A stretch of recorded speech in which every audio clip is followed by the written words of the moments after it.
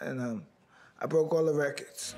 You tell me what you're gonna do tomorrow. I'm gonna go in there, I'm gonna jab to the head, then I'm gonna throw eight to the body, and then I'm gonna move after I hit and punch to the body. What are you gonna do when you get inside? I'm gonna open up like a son of a bitch.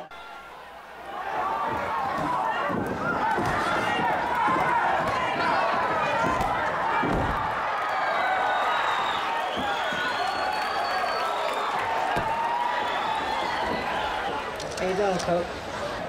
Right on the chin.